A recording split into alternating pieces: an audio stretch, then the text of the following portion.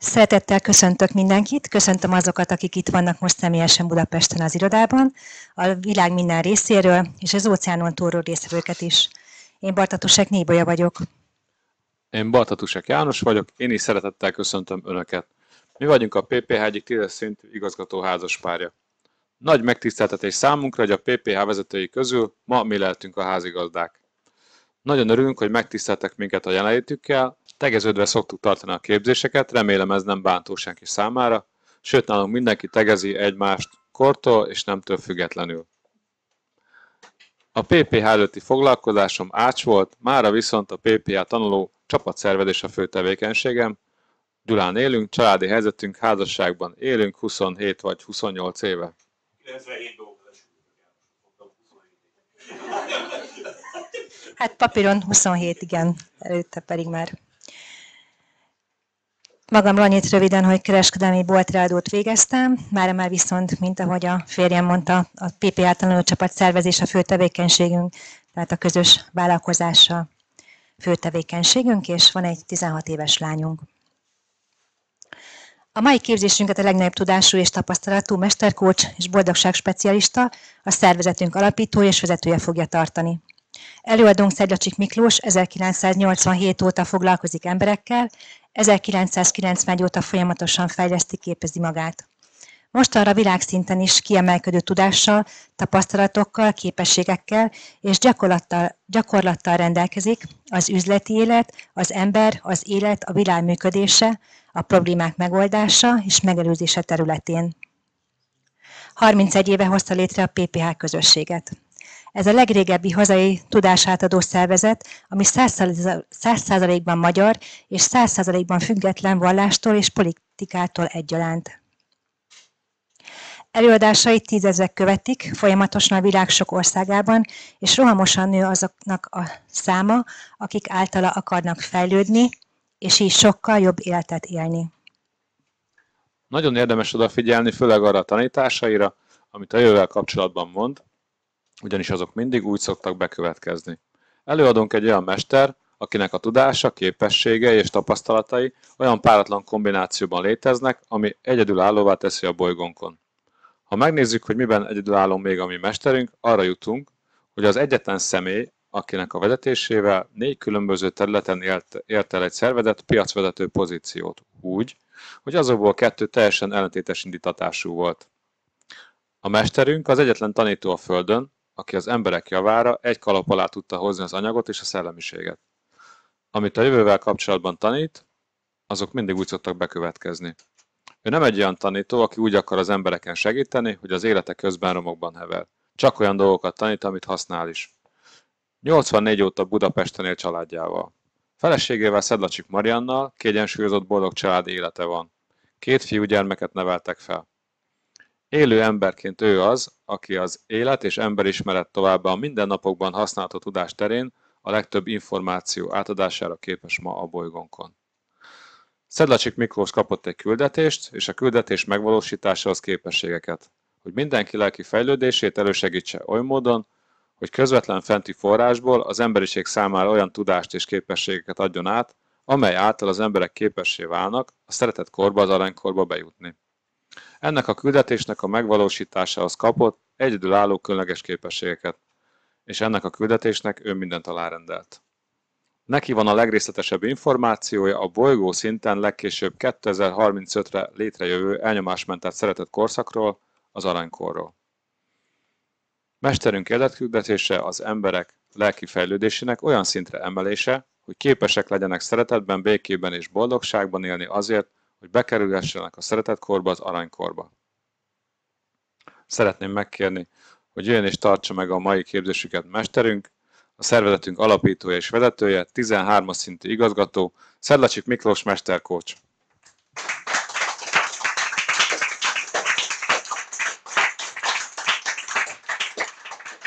Nagyon sok szeretettel köszöntelek benneteket. Ki az, aki nem elégedett azzal, ami van a jelenlegi világunkban. Köszönöm. No szóval, gondoljátok végig, hogy az elmúlt időszakban egyre rosszabb és rosszabb lett a világunk. Mikortól? hát a tornyok leomlásától ha megnézitek az 2001 szeptember 11 tehát onnantól tehát addig mi rendszeresen mentünk repülővel. Még nem volt ez a mizéria ami manapság. Rómába be lehetett menni a Szentpéter bazilikába anélkül hogy ilyen, ilyen röngen kapunk keresztül kellene átmenni érted? és egy sokkal szabadabb világ volt a múlt században hát sokkal szabadabb. És valahogy ez nem tetszett a globális elitnek a globális hatalom hatalmi vezetőknek tehát a globális elit talán ez a legjobb kifejezés. Nem tetszett? Ugye ez a szabad világ és azt gondolták hogy mindent kontrollálniuk kell és erre egy kiváló lehetőség volt a szeptember 11 2001-ben hiszen azáltal lehetett változtatni a szabályokon. Most gondoljátok végig az USA-ban ez úgy működött hogy a szenátus az nem akart pénzt adni. A hadseregnek meg a rendőrségnek érted? nem szavazták meg hogy plusz pénzt adjanak a hadseregnek meg a rendőrségnek. Lett ez a esemény és onnantól kezdve gyakorlatilag adhattak annyi pénzt a hadseregnek meg a rendőrségnek amennyit akartak. Tehát a karhatalmi szervezetek annyi pénzt kaphattak amennyit akartak. Tehát a szenátus onnantól kezdve minden pénzt megszavazott amit előterjesztettek. És addig nem. Na most. De nem csak ez lett hogy sokkal több pénzt lehetett a karhatalmi erőkre szánni hanem az is lett hogy azóta meg lehet figyelni sokkal jobban embereket rá lehet fogni emberekre hogy ha ráfogják például hogy terrorista akkor mit tudom én hány évet ülhet úgy börtönbe érted hogy nem volt tárgyalás. Mondod végig. Csak azért mert ráfogják. Tehát senki nem állapította meg bíróság nem állapította meg hogy terrorista. Érted? csak ráfogják. És akkor börtönbe ülhet ez egyébként nálunk is itt így van Magyarországon. Nem csak Amerikában most ne értsétek félre. Szóval annak következtében ugye ott volt egy fordulópont megváltozott a világ. És annak kapcsán hogy milyen terrorizmus van annak kapcsán mindent lehet csinálni. És ha azt akarják hogy hogy mondjuk egy országban az emberek mondjuk feláldozzák a szabadságukat a biztonságukért akkor olyanokat is megcsinálnak hogy megszervezik az ország ellen a terrortámadásokat érted? és a terrortámadások következtében a lakosság az feladja a biztonságát illetve a szabadságát a biztonságáért. Ami azt jelenti hogy hogy ez egy terv. Nem tudom tudjátok-e hogy ez egy terv. Hogy el kell érni hogy pénzelni kell a terrorista szervezeteket utasítani kell hogy hol hajtsanak végre terrorista támadásokat és megfélemlítsék a lakosságot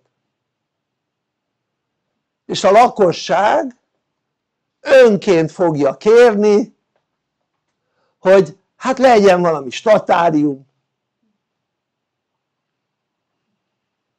Tényleg mert nem érzik magukat biztonságban. És hát adják föl tehát ők kérik hogy legyen sokkal szigorúbb szabályozás a lakosság.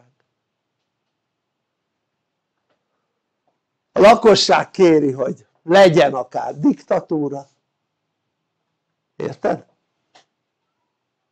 Mert a statáriumban már ugye be lehet vezetni a diktatúrát.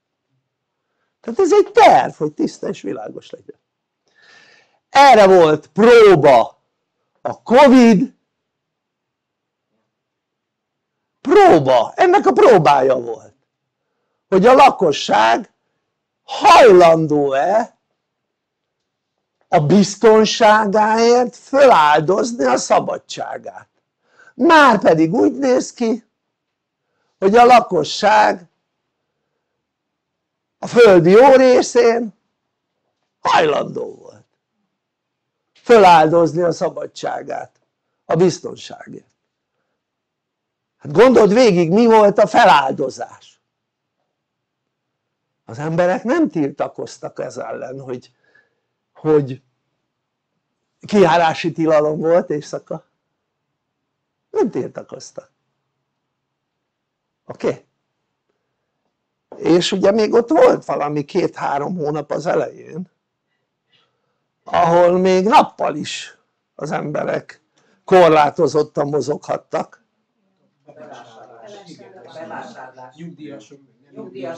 így van, tehát gondol, gondold végig, tehát már számomra nem teljesen világos mert ezeket a szabályokat ki lehetett játszani. És, és nem világos számomra, tehát szóval gondold végig hogy hogy kipróbálták hogy hajlandók-e lemondani az emberek a szabadságukról, a biztonságukról érdekében. És kiderült hogy igen igenis hajlandó na most ez megalapozta azt a tervetnek a bevezetését amit szeretnének bevezetni. Hogy diktatórikus működés legyen, ugyanolyan diktatórikus működés mint ami a Covid idő alatt volt. A Covid idő alatt diktatórikus működés volt. Tehát a Covid idő alatt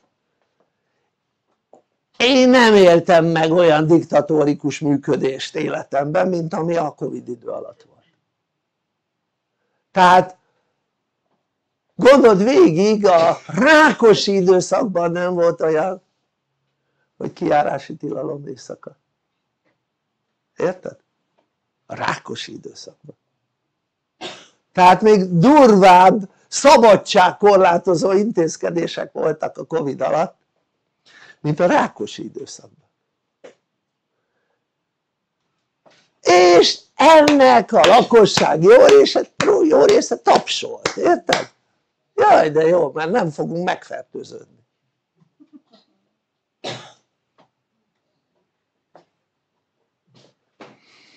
tehát ez az emberi hülyeség ne továbbja érted? És mondom van egy ilyen terv. Régóta van egy ilyen terv, ez nem most találták ki ezt a tervet. Hogy hogy kell bevezetni egy térségben a diktatúrát.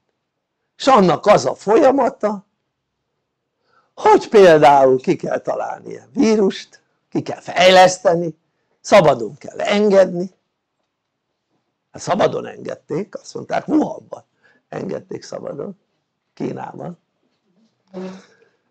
Vagy másik verzió hogy terrortámadások kellenek a lakosság ellen hogy lakosság rettegjen városokban elsősorban. Mert ugye már városokban tehát gondold végig ahhoz el kellett érni hogy az emberek városokba tömörüljenek hogy ezt meg lehessen csinálni ezt a tervet. Mert falvak ellen nincs támadás. Csak városok ellen, érted? még nem hallottál olyat hogy egy falu ellen terrortámadás volt? Csak olyat hallottál hogy város és nagyvárosok. Tehát de ahhoz el kell érni hogy az emberek városokba és nagyvárosokba tömörüljenek, érted? és az emberek betömörülnek nagyvárosokba, városokba, nagyvárosokba akkor ott könnyen lehet terrortámadást csinálni. Megszervezik, tehát ha azt gondolod hogy a terroristák kiképzése az nem kerül komoly pénzbe akkor nagy tévedésben élsz. Ami azt jelenti hogy azok finanszírozhatnak terrorszervezeteket akiknek nagyon sok pénzük van világos vagyok? na most azt hogy a világon ki, ki a teheti meg azt hogy terror szervezeteket támogasson vagy indítson, fejlesszen akár hát azt meg tudni hogy kik állnak olyan anyagi szinten. Érted? mert neked nem lenne pénzed arra meg nekem se. Érted hogy egy terrorszervezetet finanszírozzunk? Még az összesünknek együtt se lenne annyi pénze hogy egy terrorszervezetet finanszírozzunk. És az hogy a világon kik olyan gazdagok hogy ezt megtehetik. Hát azt tudják ez nem, nem titkos érted? a gazdagságot, az ultra gazdagságot azt nem lehet titokban tartani érted? és ezek a terrorszervezetek működnek tehát olyan emberek finanszírozzák tehát ugye ezt még azt is meg tudják csinálni hogy közvetlenül ne derüljön ki hogy esetleg mondjuk egy állam vagy egy titkosszolgálat finanszírozza egy terrorszervezetnek a működését miért nem? tehát miért nem ilyenek finanszírozzák? mert meg tudják azt csinálni ebben a világban hogy fogják mivel a pénz mögött nincs aranytartalék aranyfedezet sehol. Tehát nincs aranyfedezet. Ezért ugye lehet pénzt nyomtatni nem kell mögötte fedezet. Sőt azt meg lehet csinálni hogy lehet jóváírni érted? Egy átírni egy összeget. Mint ahogy nekünk tudom én egyik pillanatra a másikra a jó múltkor a, a havi ö, ö, tehát a számlavezetés, tehát a valutás számlavezetés, vagy devizás számlavezetésünk, azt fogták és mit tudom én valami 5 euró valamennyi helyett valami 5000 eurót vontak le érted? hogy észrevettük hogy jé mínuszban van a számlánk hát hogy lett az mínuszban? na ugyanúgy ahogy egy meg lehet ezt csinálni hogy elveszed úgyhogy hozzá is lehet rakni mert az egész pénz mögött gyakorlatilag hát nehogy azt hidd hogy a bankban rendelkezésre áll az a pénz amivel az ügyfelek számláját vezetik és akkor azt mondanád de hát befektették nem mert meg tudják azt csinálni most gondold végig kimegy valaki tanulni mondjuk az USA-ban és ha abba jó kis politikai potenciát látnak abban az emberben akkor az úgy jön vissza hogy gazdag hogy? hogy? Érted? tehát ami azt jelenti hogy van egy plastik kártyája amögött van egy bankszámla és a bankszámlán ott van egy csomó tudom én mondjuk egy millió dollár, érted?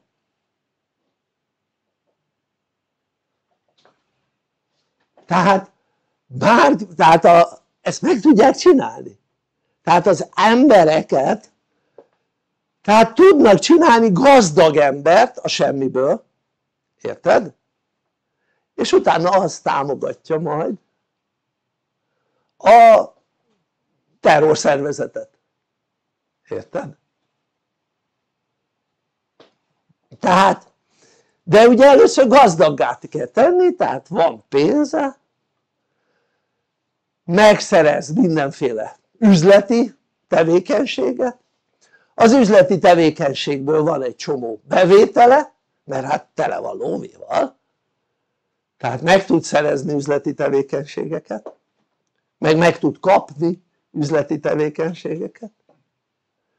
És fogják és utána hát rá tudják mond fogni hogy azért gazdag mert hát egy csomó üzleti tevékenysége van. Érted? és utána fogják és egy ilyen ember mondjuk támogat egy terrorszervezetet érted? de ez onnan indult hogy őt elindították mondjuk egy titkosszolgálat érted? hát nem közvetlen az állam most nehogy azt higgyék az emberek tehát, de ez nem összeesküvés elmélet, ezt meg lehet csinálni, érted? meg lehet csinálni persze utána amikor a bankba beszóltunk rögtön kiavították. Egyértelműen. De hát meg tudták csinálni. Tehát nem lenullázták a bankszámlámokat hanem egy csomó mínusz volt rajta. Szóval.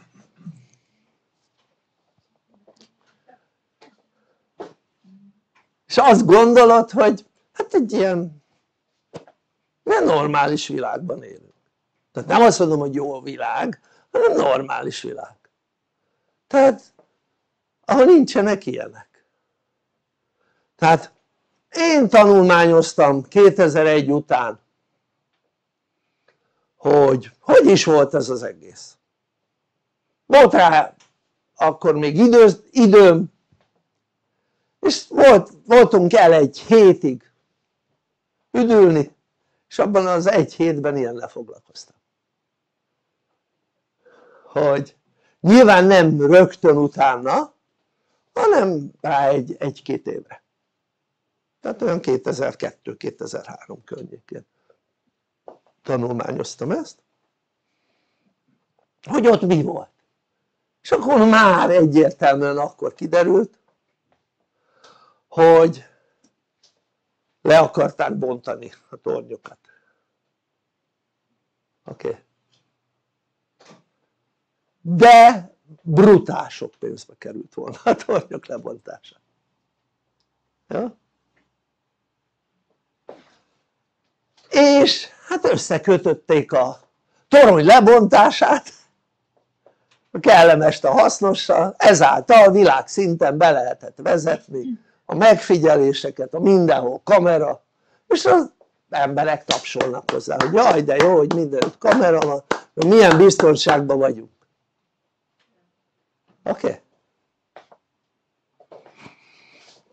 szóval és gondold végig hogy hova fajul ez az egész milyen világunk lesz, milyen lesz a gyerekeink világa ha így halad tovább és akkor nem arról beszélünk hogy most hogy mit tudom én a fentiek milyen határidőket adtak az emberiségnek stb. csak gondold végig hát olyan világot hoznak létre ahol az emberek nem akarnak benne majd élni érted?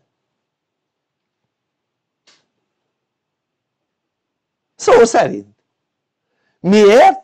mert a lakosság úgy működik hogy tudata semmi csak ösztön. És akkor beidomítják őket arra hogy elégedj meg azzal az élettel ami van. És örülj hogy luk van a fenekeden, érted?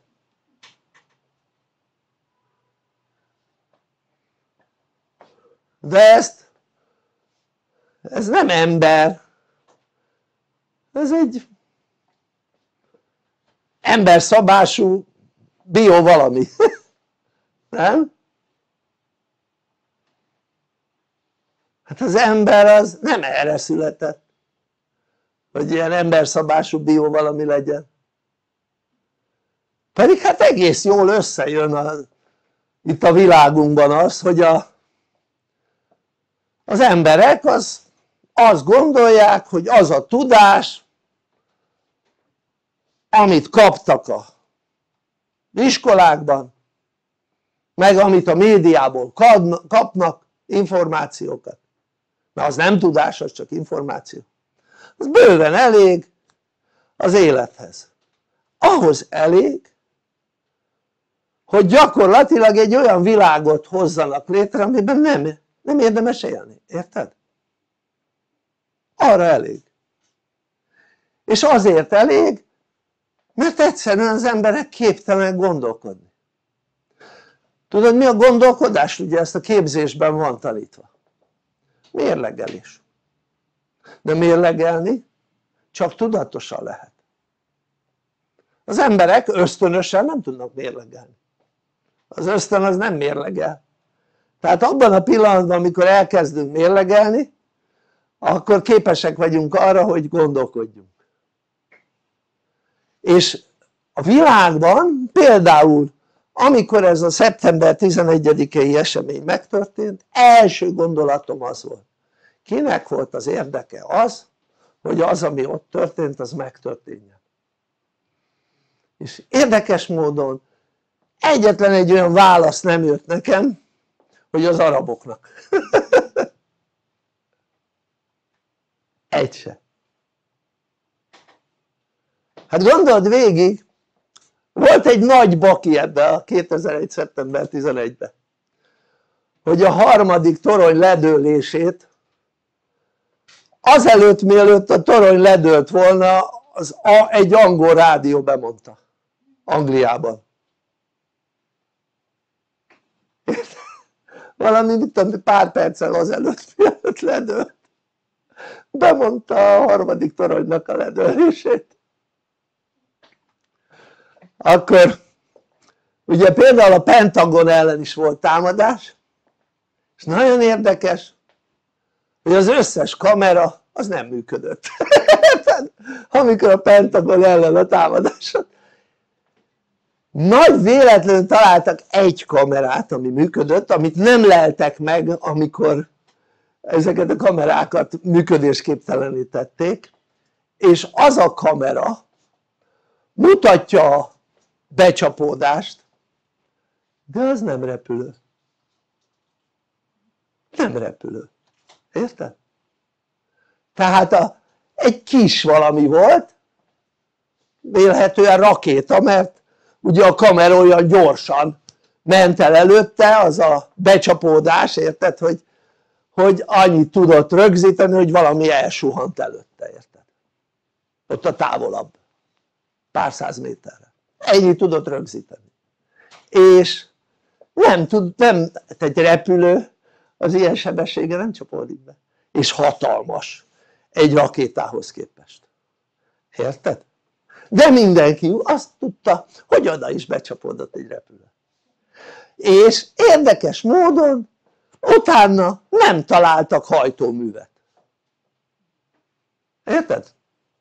tehát a roncsok közt nem volt hajtómű. Tudod ha becsapódik repülő egy épületbe hát akkor lenni kell hajtómű maradványoknak. Egy szálat se találtak. Ja? de hát természetesen. Na akkor mondanék még egy dolgot. A harmadik ház alatt volt egy egy hatalmas pince ahol ott volt az aranytartalék az USA aranytartaléka és képzeld el azt mondták hogy a nagy hőtől elpárolgott.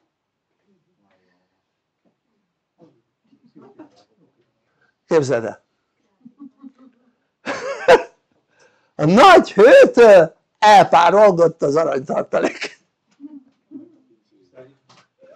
főleg a pincében, így van. És akkor ennyi, ennyi volt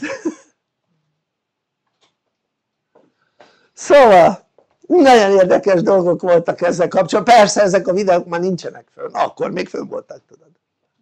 Ezeket azóta leszették. De hát nagyon érdekes az egész, tehát mindig azt kell nézni hogy kinek az érdeke. Jó? tehát a világunk az közel nem olyan mint amit tudunk róla csak az elmúlt száz évet nézzük azt látjuk hogy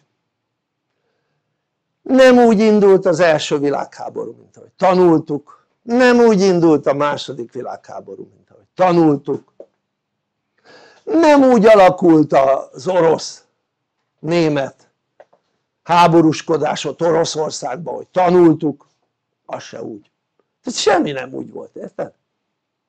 semmi nem úgy volt tehát az első világháborút ráfogták a Habsburgokra meg a magyarokra természetesen. Ugye a Habsburg magyar monarchia. Közben az angolok üzentek hadat. Tehát a Habsburg magyar monarchia nem üzent hadat senkinek. Csak oda ment rendet akar teremteni Szerbiába amely ráadásul valamilyen szinten még ugye kötődött is akkor még a Habsburg magyar monarchiához. Erre az angolok hadat üzentek. A második világháborúban.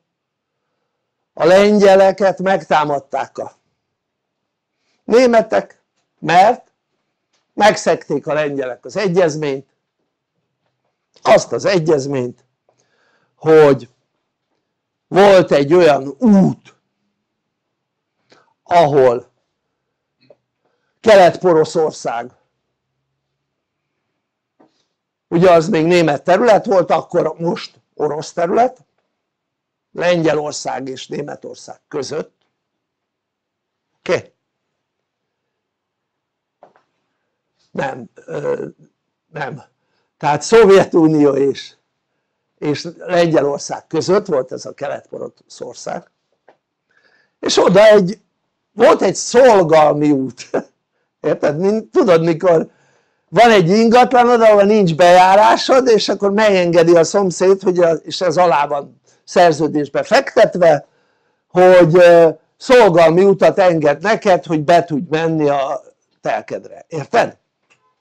na ugyanilyen megállapodás volt csak nagyban Lengyelországgal a németeknek és akkor mivel az is Németországhoz tartozott ugye ez a Kelet-Poroszország. Ezért ugye Potsdam környéke. Ha jól emlékszem. Ezért ugye úgy volt hogy most valami Kaliningrád vagy mi a jó Isten. Jó tehát ott jöhettek, mehettek, a kereskedelem folyt a két ország rész között. És akkor ezt lezárták a lengyelek oké, okay, megszekték a megállapodást és akkor mi történt? hát megtámadták a lengyelek a, a, a németek, erre mit csináltak az angolok? hadat üzentek a németeknek érted? tehát a hadat üzenő robbantja ki a háborút érted?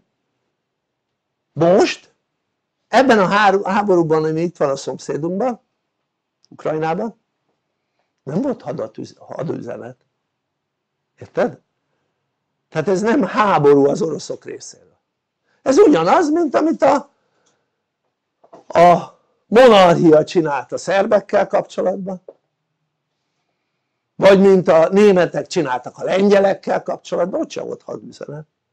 Fogták és megoldották azt a kérdést hogy, hogy a két ország rész az szabadon kereskedjen egymással hát most mit, mit csináltak az oroszok? az oroszok csak azt csinálták hogy volt egy egyezmény avval kapcsolatban hogy nem fegyverzik fel Ukrajnát volt egyezmény hogy nem telepítenek az orosz határ közelébe semmilyen atomfegyvert a NATO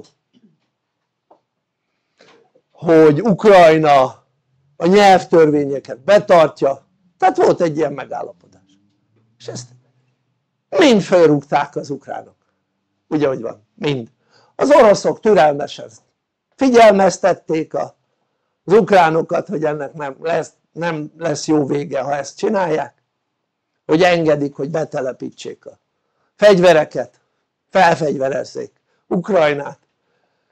Azt tudjuk hogy akik közvetlenül mi Magyarországon nem de például a románok közvetlenül a, az orosz határhoz telepít, engedték hogy telepítsen a NATO atomtölteteket, érted? szóval tehát szépen felrúgták ezeket ugye és mit csinált? nem volt más választása mint hogy fogják és megtámadják Ukrajnát. Na most ebben kapcsolatban még egy-két dolgot hogy tehát érdekes ez az egész helyzet mert ugye ők csak annyit akartak hogy csinálni egy olyan zónát ahol nem tudnak belőni Oroszország területére. Tehát hogy legyen egy, egy olyan sáv egy ilyen 100-150 kilométeres sáv.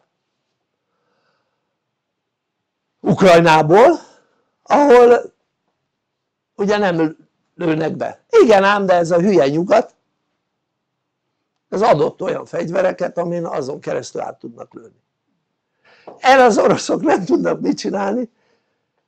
Egyre nagyobb sávot foglalnak el, elmondták hogy amilyen fegyvert kap Ukrajna aminek a hatótávolsága nagyobb ők akkora területet fognak elfoglalni Ukrajnából ezt elmondták és ha olyan hatótávolságú fegyvereket adnak, mert ilyen tervezet is van, hogy ezer kilométerre megy el a, az a rakéta, akkor ezer kilométert fognak elfoglalni, érted? És ezek a hülye ukránok ezek mintha ezt meg se hallanák. Mármint az ukrán vezetők, nem az ukránok a hülyék hanem az ukrán vezetők. De hát azért hülyék a ukránok mert megválasztották az ilyen hülye vezetőt. Tehát általában ugye azt mondják hogy olyan a, a népnek a vezetője mint a nép. Tehát egy színészt megválasztani egy boxoló a kievi polgármester, érted? Kricsko boxoló, érted? akinek hülyére verték az agyát mert a boxolóknak mind hülyére verik az agyát akkor is hogyha mire ő boxoló lesz addigra hülyére verik, érted? és, és az a kievi polgármester érted? Jó? másik meg egy színész, egy olyan színész mert ugye Kár, Carter elnök, nem Carter hanem ki volt amerikai elnök színész? régen elnök, igen régen elnök is színész volt hát de neki volt egy komoly politikai pályafutása a színészkedés és a, az elnök ki, tehát elnöki választás között egy több évtizedes politikai karrierje volt, érted? ennek a Zelenszkinek meg semmi semmi az ég a világon csak azért mert ugye azokat a szövegeket amit megírtak vagy megírt nem tudom és bemondott a filmben a sorozatban amiben játszott az tetszett a népnek érted? Ezért megválasztották mert a népnek tetszett az amit a filmben mondott. De hát az megírt szöveg. És tudjuk jól hogy a filmben azt kell mondani amit megírtak, ott nincs olyan hogy rögtönzünk. Ez olyan mint a hírek, a hírekben sem rögtönözhetnek az emberek. Ha egy ember rögtön híre, hírbemondóként rögtönöz a híreknél akkor már holnap nem kell neki vagy ma aznap nem kell neki több hírt felolvasni érted? ennyi. Tehát nincs rögtönzés. Filmben sincs rögtönzés. Az van hogy ezt a szerepet játszod ezt kell mondani és kész pont. Jó? és ez tetszett a népnek hát gondold végig mennyire tudatlan nép. Hogy azért mert jókat mond egy sorozatban ezért válasszuk meg elnöknek. Ez a tudatlanság ne továbbja. És megnézed tehát például itt van a mi miniszterelnökünk tehát nem tehát nem védem őt, jó? de neki van egy 40 éves lassacskán politikai karrierje, érted? és nagyon jó politikus érted? sőt mondhatnám azt hogy az EU-ban az egyik legjobb politikus, ez mit jelent hogy politikus? az hogy nem beszél hülyeségeket, érted? tehát figyel arra tehát egy politikusnak mi, mi a feladata? az hogy úgy tudja hazudni hogy az emberek el, meg elhiggyék az a jó politikus aki jól tud hazudni de úgy hogy az emberek teljes egészében elhiggyék érted? De nem ez, ez minden politikusra igaz. Mert nem találsz olyan politikust az egész EU-ban ugye arra van a legnagyobb rálátásunk aki betartotta volna az ígéreteit a választási ígéreteit. Nincs ilyen politikus. Tehát milyennek kell lenni egy politikusnak?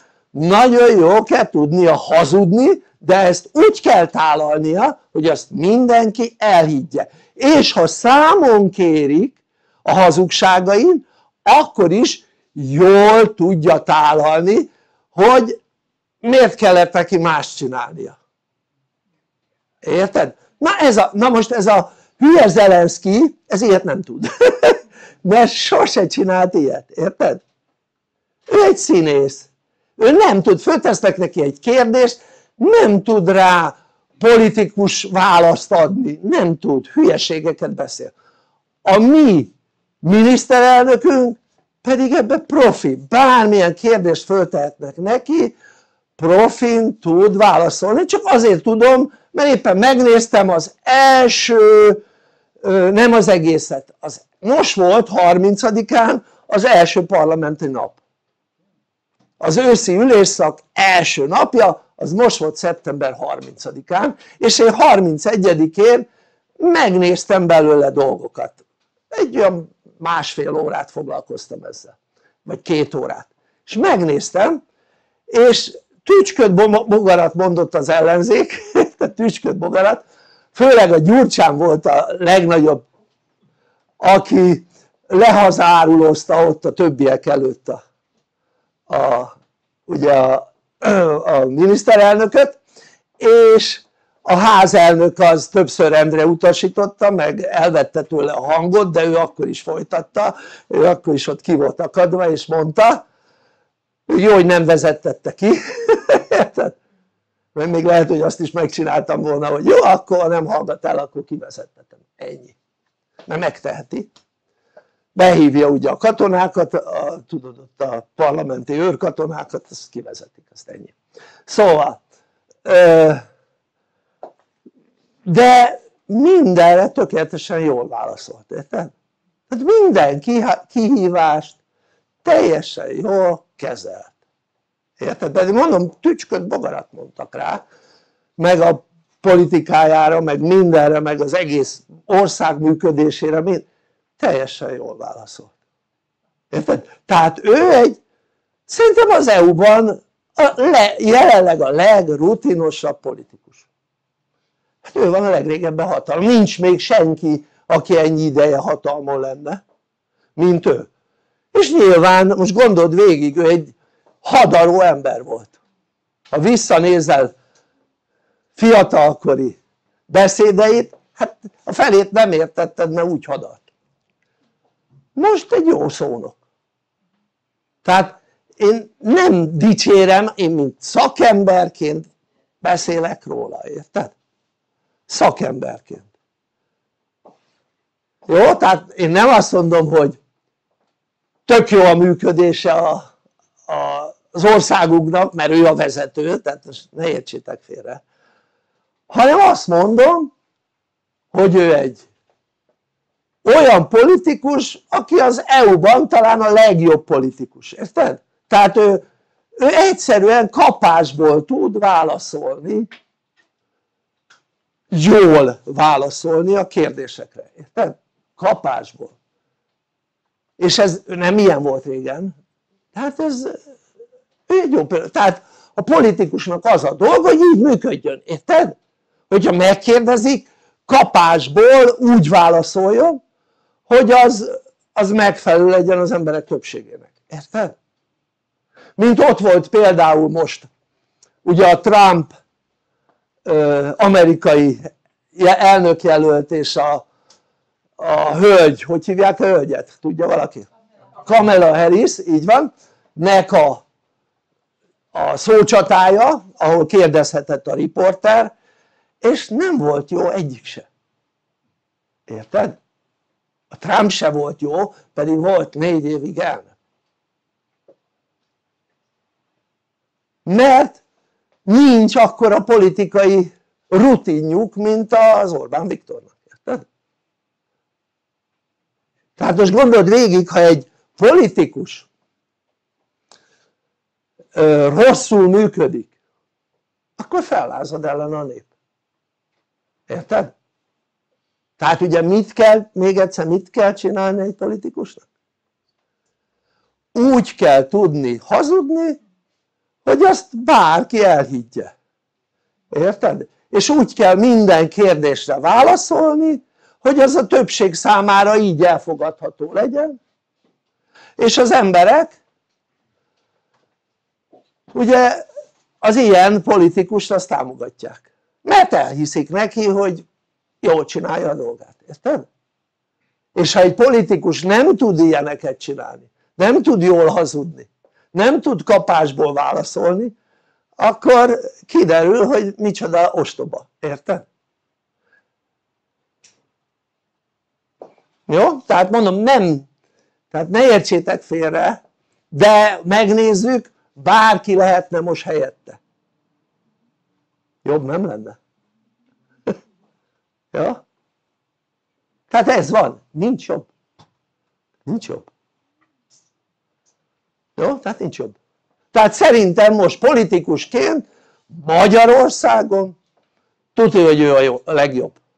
Én nem azt mondom hogy állami vezetőként ő a legjobb tehát vez, nem, nem azt mondom hogy vezetőként ő a legjobb az országban de politikusként ő a legjobb. Világos? és nincs jobb. Tehát nincs jobb politikus ebben az országban. Ez van. Jó? És nézd meg Gyurcsányjal szemben megnézed ő neki olyan kijelentései voltak hogy lázadást tört ki ellene emlékezz rá, összödi beszéd oké? Okay. tehát ő nem volt jó politikus most is amit művelt ott a parlamentben hát ez egy normális politikus nem csinálja azt, érted? jó? tehát van egy alapszabály az emberi kommunikációban az hogy a konkurenciát nem szidjuk érted? tehát a, konkur tehát a Gyurcsánynak konkurenciája az Orbán érted? és, és ma arról szól Magyarországon a politika hogy a politikusok azok, de ez mindig így szól, erről szólt.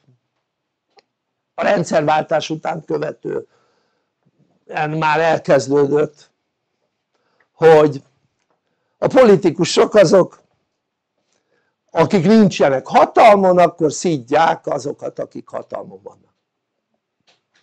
Tehát én ugye voltam biztosítási broker cégnek a vezetője, saját tulajdonban volt a biztosítási broker cég és képeztek, tudod? De tehát meghívtak mindenhova képzésre és én elmentem természetesen és egy alaptanítás hogy a konkurenciát soha nem szídjuk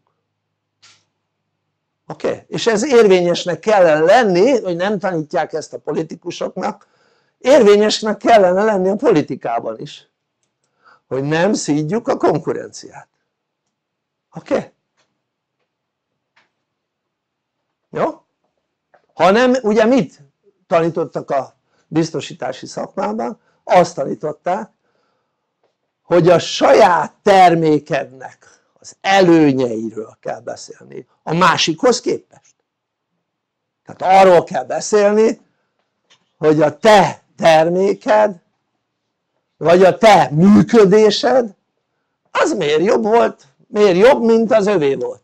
És ezt is jól csinálja az Orbán, ha megnézed őtől nem hallasz fröcsögést más politikusról. Ő nem fröcsög más politikusra. Ő elmondja azt hogy ön is volt mit tudom én hogy hívják miniszterelnök és hova jutott az alatt az időszak alatt az ország oké okay. ennyi jó tehát ami azt jelenti hogy ő azt mondja hogy az ő időszakában ez fejlődött, az fejlődött, amaz fejlődött, az ő időszakában meg ezek nem fejlődtek érted? tehát de nem bántja a konkurenciát, érted? tehát ezek ilyen alap dolgok na most csak azért mondom hogy gondold végig olyan politikusok vannak az egész EU-ban akik fröcsögnek. Néztem egy olyan videót a Youtube-on ahol a politikusok az Európai Parlamentben lévő politikus, vezető politikusok fröcsögnek az Orbán Viktorra, érted? fröcsögnek. Hát tudásuk semmi. A konkurenciára tehát a konkurenciát nem szidjuk, nem bántjuk, érted? ez egy alap dolog. Tehát egy normális ember aki normálisan működik aki nem ez a harag meg dűszinten működik érted? Ez a fröcsögős annak nem lesz szimpatikus hogy az egyik vezető szídja a másik vezetőt érted? tehát egy normálisan működő embernek még egyszer mondom nem lesz szimpatikus az a vezető amely szídja a másikat mint a bokrot kinek lesz szimpatikus? hát pont egy ilyen embernek aki, aki állandóan szíd mindenkit, érted? na annak szimpatikus lesz ó de jó megmondta, na ez az, ez kell biztos láttatok már ilyen embereket oké? Okay? na most olyan emberekkel akik így működnek hogy ó ez az, de jó megmondta, na ez kell érted? ilyenekkel nem lehet együttműködni ezektől távol kell az embernek magát tartania jó? tehát gondoljátok végig a béke a fejlődés nem, a fejlődés. Tehát a fejlődés. A nyugalom. Az mindig a békességnél van. Az nem békesség hogy egymásra az emberek mindenfélét mondanak tücsköt bogarat, érted? az nem békesség, az úgy hívják hogy ellenségesség. Az a kezdete, kezdete a háborúskodásnak. Hát gondold végig Putyinnal nem jó viszonyt akarnak hanem ellenséges viszonyt miért? Hát nem jártak politikai iskolába? én nem jártam de tanítottak más iskolába ilyen dolgokat, érted?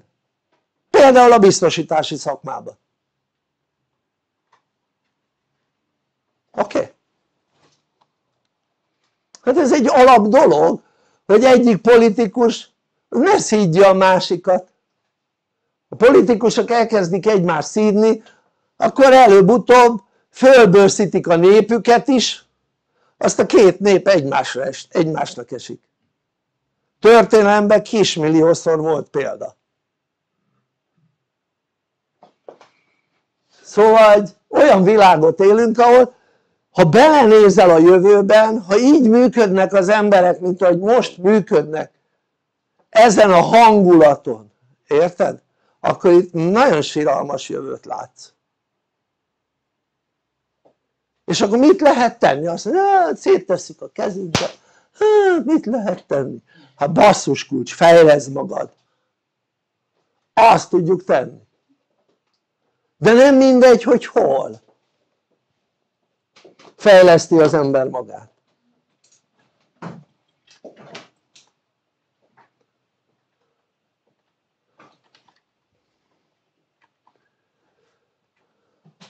itt van tíz életterület jó? ezt a tíz életterületet meg tudod kapni mondjuk tíz szervezetnél ennek a tudást tehát ezekhez a tudást, ez a tíz életterülethez meg tudod kapni tíz szervezetnél de úgy hogy mire megkapod mondjuk akkor rámegy a vagyonod jó? körülbelül annyiért jó? Vagy van egy más választásod itt tanulsz nálunk hogy mennyiért majd a házigazdáink beszélnek róla jó? meg hogy hány órában stb. stb. jó? erről most nem szeretnék beszélni vagy megnézheted egy másik videóba is majd szóval na most éppen beszélgettünk erről a szünetben hogy régen, ez, erről nem beszéltünk, ezt most csak hozzáfűzem ahhoz a beszélgetéshez ami, amiről beszélgettünk, nem a szünetben hanem az elején kezdés előtt régen úgy működött egy ország hogyha normális királya volt ezt úgy hívják hogy szakrális király oké? Okay? tehát szakrális királya volt a szakrális király mit jelent? azt jelenti hogy fenti kapcsolata volt oké? Okay? legtöbb esetben vagy már úgy működött az az illető vagy ugye az is előfordult hogy beavatták és úgy lett szakrális király jó? tehát egy beavatási ceremónián vett részt ahol megnyílt az az elme része amivel a kapcsolatot létre tudta hozni, tehát megnyitották, jó? lényeg hogy miért kellett a szakrális uralkodó? azért hogy ne kelljenek tanácsadók tehát azért hogy bármilyen kérdésben döntést tudja hozni még olyan kérdésekben is amihez nem igazán ért vagy talán semmit nem ért. Tudjon döntést hozni. Ezáltal az uralkodóknak nem volt tanácsadó testülete. A szakrális uralkodóknak. Nem volt ilyen-olyan miniszter meg nem kellett. Érted? na most a mai világban az állami vezetők azok tanácsadókkal veszik magukat körül. Olyan tanácsadókkal akiknek nincs gyakorlatuk. Lehet hogy volt régen 20 évvel azelőtt. De 20 évvel azelőtti világ az nem a mai világ. És az hogy ki 20 évvel ezelőtt mit tapasztalt az nem számít. Az számít hogy most van-e valakinek abban a területen tapasztalata vagy sem. Tehát ha megnézed gyakorlatilag a miniszterek nagy része a világunkban az nem szakember hanem politikus. Érted? azt nem mondom hogy jó politikus de azt mondom hogy politikus. Mert ugye az ukrán elnök is politikus csak abszolút nem. Jó politikus. Jó? tehát egy miniszterelnök mondjuk vagy egy államfő az tanácsadókkal veszi körül magát de nem lehet úgy csinálni mondjuk egy tanácsot, tehát egy miniszteri pozíciót, nem lehet úgy művelni, hogy közben ő mondjuk az egészségügyi miniszterként mondjuk közben praktizál érted? és közben a kórházban dolgozik stb. stb. nem lehet hát ő vagy egészségügyi miniszter vagy praktizáló érted? na most az hogy mikor praktizált az meg mit számít? semmit tehát ha megnézed gyakorlatilag alig találsz olyan minisztert itt Európában aki szakember lenne ezért ugye mit csinálnak? Ugye a miniszterek meg mit csinál egy miniszterelnök vagy egy államfő vagy egy elnök? Mit csinál? hát megkérdezi a szakembereket is. De nem tud dönteni hogy milyen döntést hozzon, jó, jól nem tud dönteni mert ahhoz a területhez nem ért, illetve nincs, mivel nem szakrális egy miniszterelnök se. Nincs kapcsolata a fenti létformával. Oké? Okay? ezáltal megkérdezi az egyik szakembert vagy megkérdezi a másikat és lehet hogy hót ellentétes dolgokat mondanak. Na abból dönts el hogy most melyik lenne a jó. A Covid-ban is ugyanez volt, hát persze ezt láttuk egy az egybe látható volt a Covid-nál hogy a miniszterek bénák voltak, érted?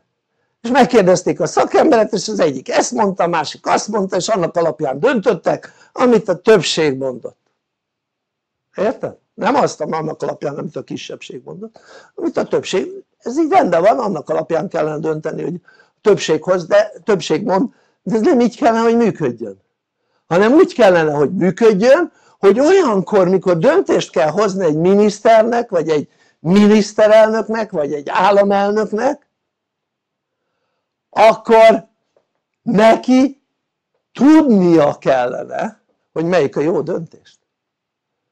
Nem elfogadni a szakértőket meg a szakembereket. Mert sok esetben az van hogy ki tudja milyen érdek van a szakember mögött vagy a szakértő mögött. Oké? Okay? és ezáltal hogy ilyen világunk van gyakorlatilag itt tart a világ ahol van. Nincsenek szakrális vezetők. Én szakrális vezető vagyok. De én nem akarok király lenni. Tehát mondjuk ha én irányítanék egy országot nekem nem lenne tanácsadó testületem én ha valahol valami probléma van elmennék megkérdezni elmondanák az emberek és utána megkérdezném fölfelé a választ hogy mi a helyes mert az egyik ezt mondta, a másik azt, a harmadik amazt érted? mi a helyes? és simán leküldik a választ és annak alapján döntenék ezt most is így csinálom egyébként az életemben már elég régen? Jó? tehát ezt így csinálták a királyok. A múltban. De én nem akarok király lenni. Államfő sem, nekem az a dolgom hogy az emberiség számára olyan tudást juttassak el amit nekem leküldenek. Ha azt gondolod hogy abból a sok információból amit én átadok nektek én azt mind tanultam akkor te nagyon tudatlan azoknak egy töredékét tanultam, körülbelül annyit mint a jegyzeteimben látsz a képzéseken na annyit tanultam oké? Okay? ahhoz képest egy kicsivel többet adok át mint a jegyzeteimben vannak oké? Okay?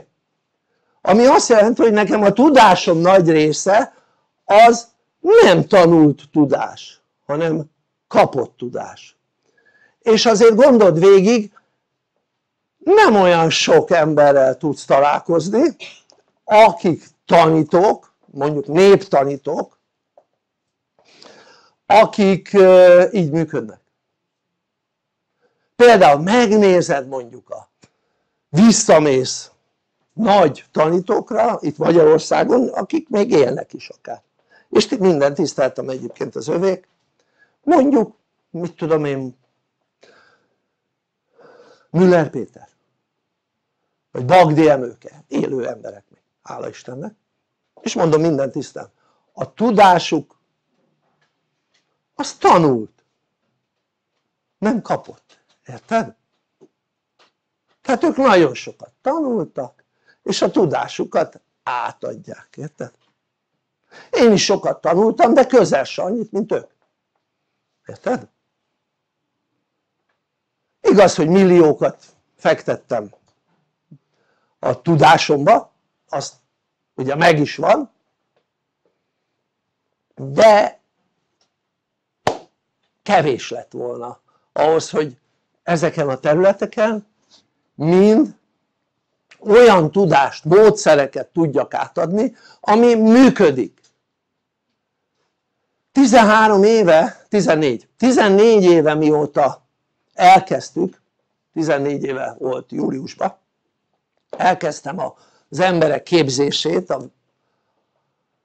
előtte vezetőknek adtam csak át ennek a tudásnak a töredékét nyilván azóta sokkal több tudást kaptam tehát sokkal több tudást kaptam mint amennyit tanultam, jó? maradjunk ennyiben 14 év alatt az ember és az élet működéséről ezeken a területeken nem tudtak feltenni olyan kérdést amire el tudtam volna választani jó? Ennyi. És ezt nem hitték el tanítók és volt aki már el is jött letesztelni. És föltett olyan kérdést és azt mondta ő erre nem tudott válaszolni én meg tudtam. És ez kiment ugye itt a tanulók hallhatták ezeket. Jó? mert ez már klubban volt. Ugye a klub az nálunk azt jelenti hogy a képzés után lehet kérdezni jó? tehát most nem képzés van, ez nem képzés ez információ átadás, jó? és képzés majd a szünet után lesz és azután pedig klubozni szoktunk nem minden alkalommal de esetek túlnyomó többségében klubozunk ahol lehet kérdezni és én válaszolok, jó? nem beszélgetni lehet, jó? hanem kérdezni csak azért mert Maria mondta nekem hogy feleségem hogy miért hagytam hogy beszélgessenek az emberek jó? és igaza volt jó? tehát lényeg az hogy itt van 10 terület egy helyen megkapod, megkapod ezzel kapcsolatban a tudást, miért? ne tudjanak átvágni, érted? hogy ne tudjanak rábeszélni a hülyeségekre amire az embereket rábeszélik a médián keresztül természetesen rábeszélik és meggyőzik az embereket hogy az a hülyeség amit el akarnak velük érni vagy meg akarják, végre akarják velük hajtatni az hülyeség, érted? Hmm. ők nem jönnek maguktól rá hogy az hülyeség, mert elhiszik mert ez van egy alap, ezt tudod olyan mint a általános iskolásban volt hogy valamit rosszul csinált és azt mondta a tanárnő hogy jó akkor holnapra százszor lefogod, holnapra írd le százszor a, a mit tudom én micsodát, érted? tehát hogy hogy kell működnöd, ezt írd le százszor holnapra és te hoztad a százszor leírtad és tudtél hogy utána úgy csináltad ahogy leírtad százszor. Nem véletlenül a nyelvünkben is benne van az hogy hát már százszor megmondtam.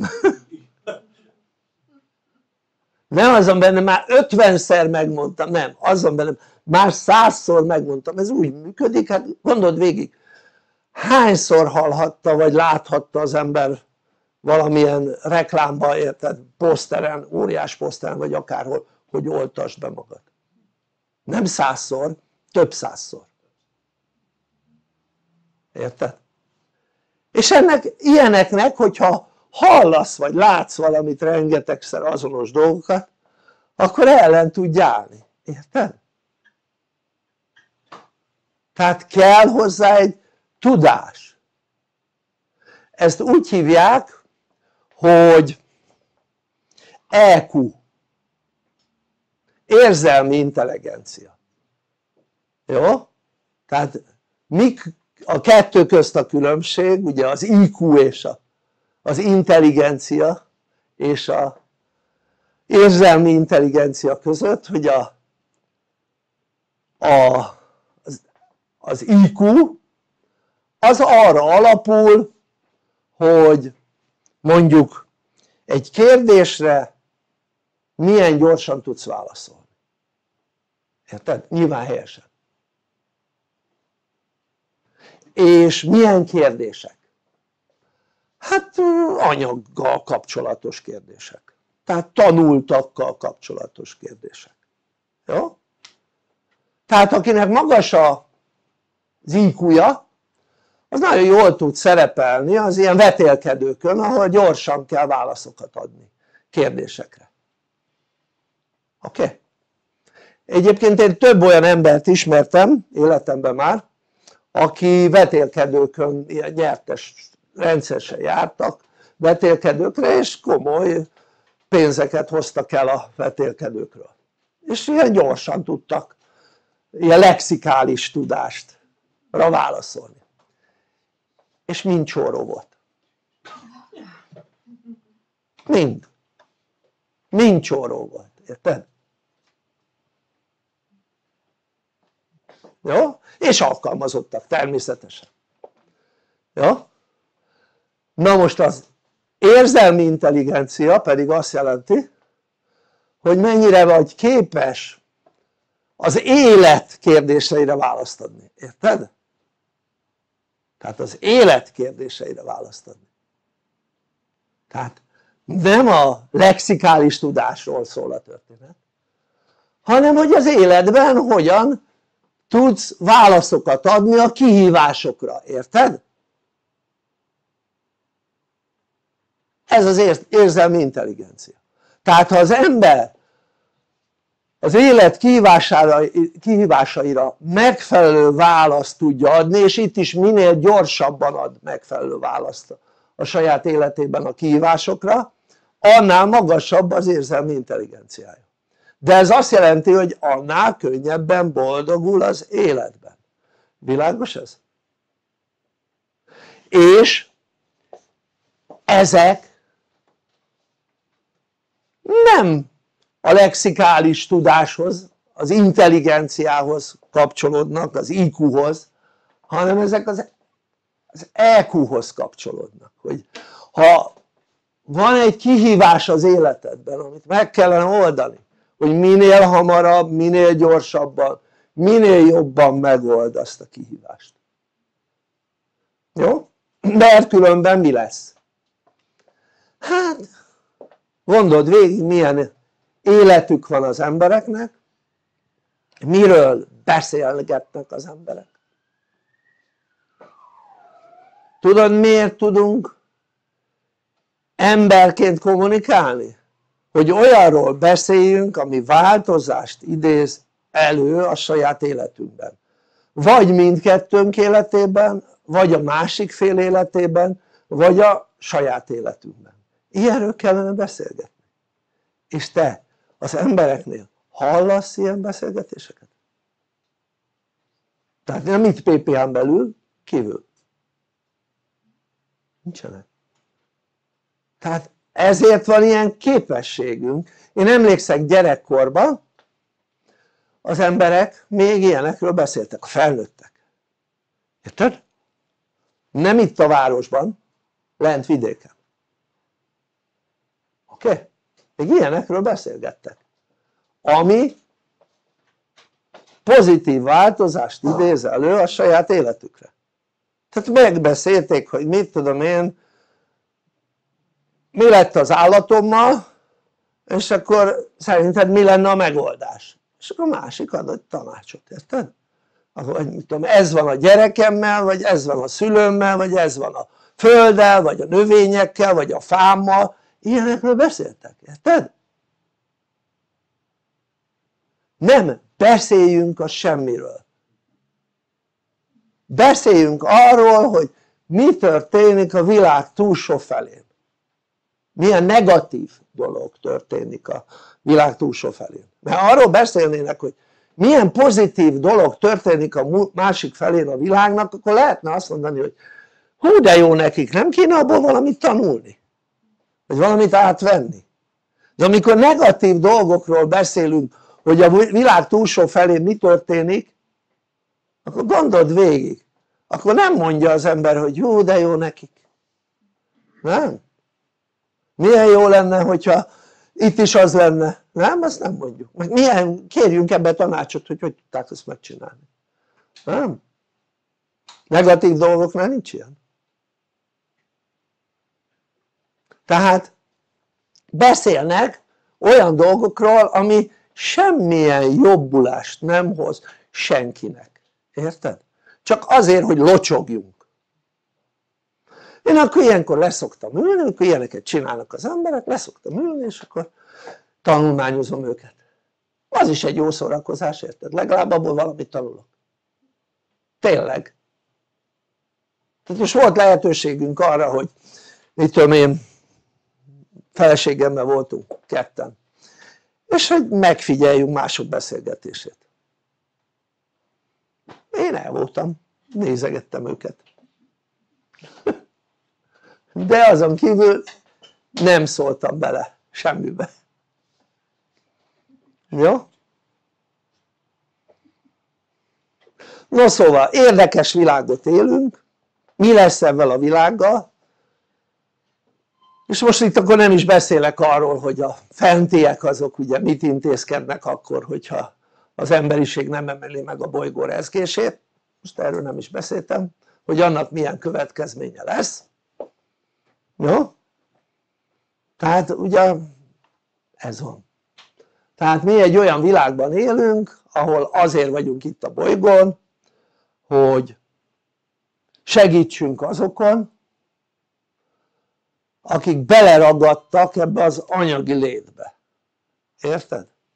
és azt gondolják hogy az, az anyagért élünk a földön nem az anyagért élünk a földön, a tudásért azt pedig úgy hívják hogy szellemiség, érted?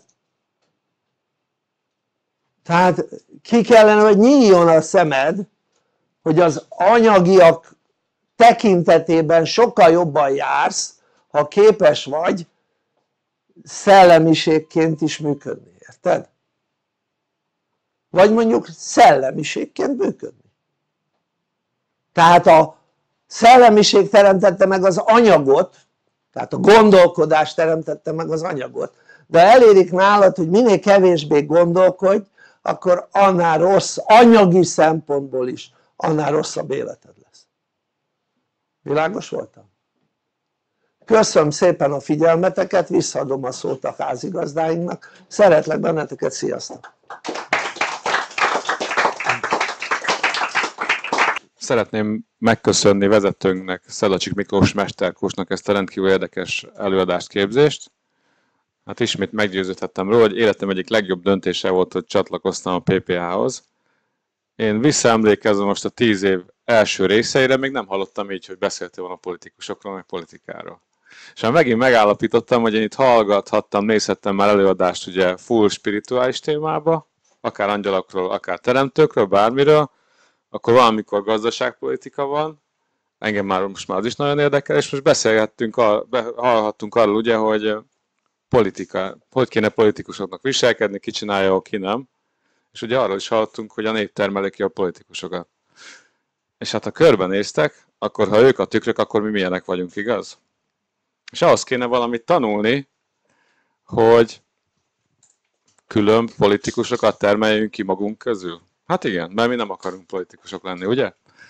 És mi azért bejártunk Tornyát, Baranyát, hogy találjunk egy tanítót, akitől tanulhatunk hm, intelligensen élni.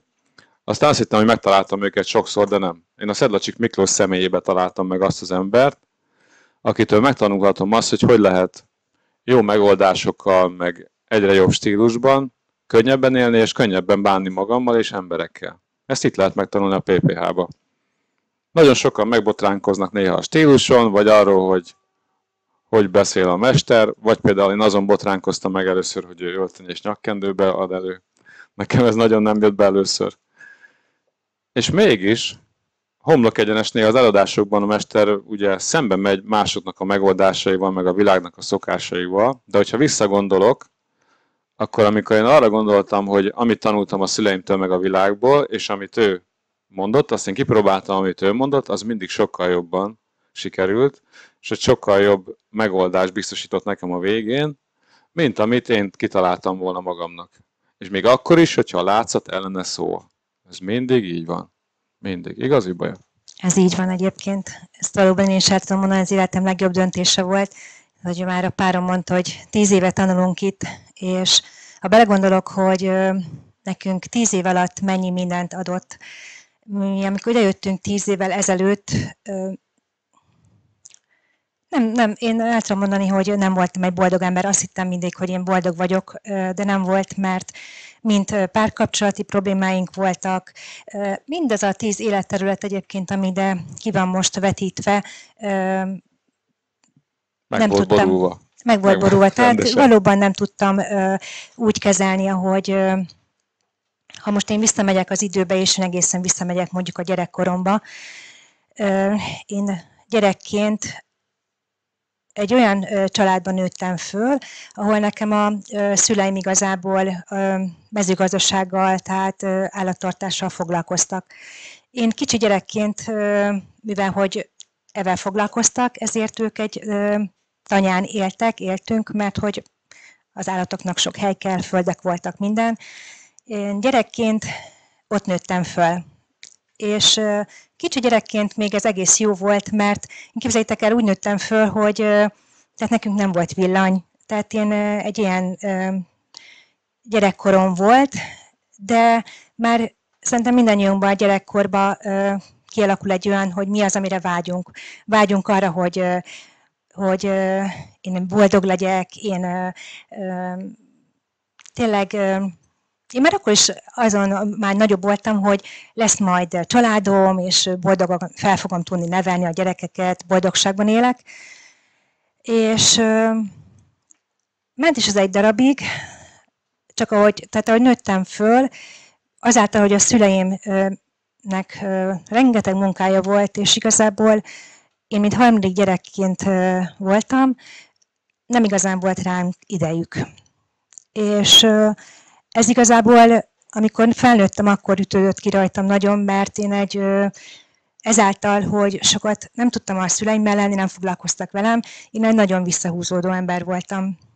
És viszont mindig vágytam arra, hogy ami bennem van, tudom, hogy voltak bennem dolgok, hogy azt ki tudjam mondani, ki tudjam fejezni magam, de azáltal, hogy, hogy egy visszahúzódó voltam, nem tudtam élni azt, amit, ami valóban bennem van.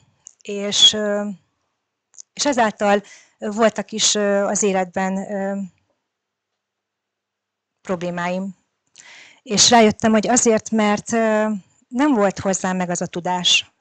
Hiába jártam én iskolába, elvégeztem egy szakmát, azt hittem majd az jó lesz, mert hogy azt tudom.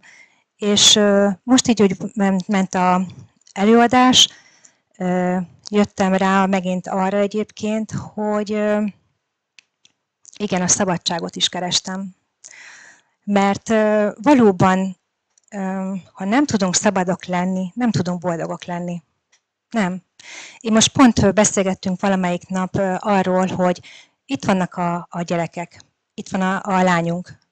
Ő most szakközépbe jár, és hihetetlen, hogy mennyire bele nevelődik már az, gyerekek, hogy nekik 7 órakor már kezdődik az óra. És van 7-8 órájuk, délután 4-kor ér haza. Mi ez, hanem más az, hogy rabszolgasságban nevelik őket? Tehát iszonyat. És, és ugyanez, tehát nem volt meg az a szabadságom, nem volt meg az a tudásom, ami által egy, egy boldog életet tudjak élni. Nem tudtam kezelni az élethelyzeteimet és hál' Istennek jött egy mester, Szedlecsik Miklós, aki által ö, megkaptunk minden, és folyamatosan megkapjuk azt, hogy hogy tudjunk boldogan élni, hogy tudjunk szabad ember lenni, szabadon érezni, szabadon dönteni. És, ö, és igenis, nagyon sokat kellett ezen dolgoznunk, és szerintem még életünk végéig ezen tudunk még dolgozni, kell is, még kell is, nagyon sokat. De de amikor megvan az a mester, aki tényleg valóban egy olyan, olyan tudást ad át neked, ami által mindezt el tudod érni, az nagyon nagy segítség. És én azt üzenem mindenkinek, aki hallgatja most a képzést, vagy már nagyon-nagyon régóta hallgatja, ne várj, mert az idő eltelik, és, és az igazság, hogy sehol nem adják meg azt, hogy hogy is működik az ember és az élet, sehol nem tanítják. Ez az a hely, ahol valóban ezt a tudást megkapjuk, ugyanis itt rendszeresség van, ez is nagyon fontos. Én azt látom, hogy az életünkben, mivel megvan rendszeresség, mi mindig foglalkozunk vele, ezáltal tudjuk egyre jobban helyre rakni a, a problémáinkat az életben. Ezek a képzések minden héten, szerdán, minden héten vasárnap, szerdán 18 órától, vasárnap 17.30-tól van, 16.30-tól vannak. Itt Budapesten az irodából most is vagyunk élőben, de hál' Istennek már nagyon-nagyon sokan tudják, mivel hogy online ez kimegy a világ minden fele hallgatni. És van 26 nagy témakör, mind a mellett, amit van 10 életterület, mellett még képzeljétek, van 26 nagy témakör, ami mind az ember és az élet működéséről szól. Hatalmas uh, tudás van egyébként, és uh, akik kitartóan itt tanulnak, mindenki arról számol be, hogy jelentősen jobban vált az élete. Tehát azt javaslom neked is, hogy ne halogass. Az idő eltelik, és látjátok, hogy ez a világ egyre rosszabb. Nem, hogy jó irányba menne, hanem egyre rosszabb. Tehát ha mi nem teszünk érte, itt nem lesz jobb világunk, mivel hogy most mesterünk is beszélt, hogy a politikusainkat várjuk, akkor attól nem lesz nekünk jobb. Tehát itt minden szerdán és vasárnap este havonta átlagosan 30 óra képzésünk van. Ennek a képzésnek igazából az értéke, havi értéke 200 ezer forint, és a mindennapokban használható tudást kapsz, de viszont most ezt akciósan mindössze 19.700 forintért kapod, sőt a második hónaptól csak 12.500 forint és ráadásul most ingyen kapsz egy szabad életet eredményező jövedelmező lehetőséget is. Ugyanis a mesterünk ezt az iskolát úgy rakta össze, hogy nem csak fejlődni is tanulsz, fejlődsz, hanem ö, kaphatsz egy szakmát is. És ö, hát mi már most már... Hármat. Hármat, igen, igazad van.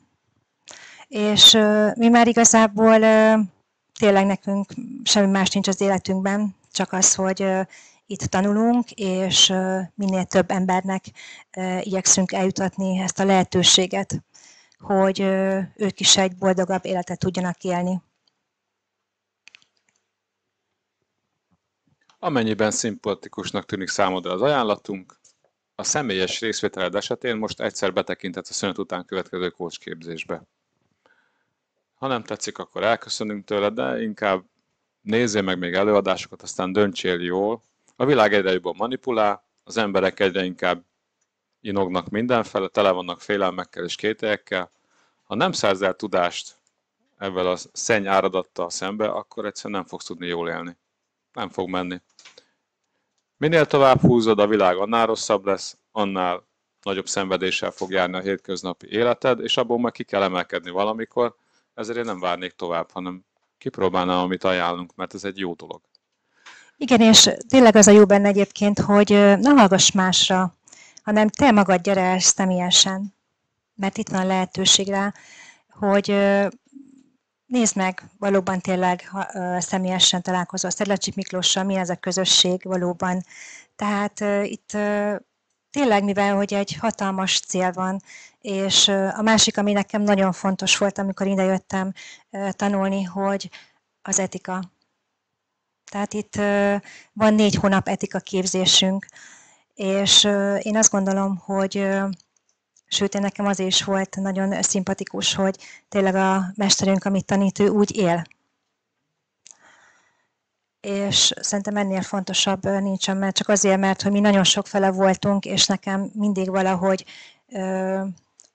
onnantól, hogy egy mester elkezd tanítani valamit, és ő neki az az életterülete teljesen fel van borulva, akkor nekem onnantól ez nem tud hiteles lenni. És nekem az nagyon fontos, hogy valóban egy olyan mestertől tanuljak, aki tehát úgy is él. Hiteles. Most pedig 30 perc szünet következik, szünet után egészségteremtő hatodik hónapjának az egyik előadása lesz. Szeretünk benneteket, sziasztok! Sziasztok!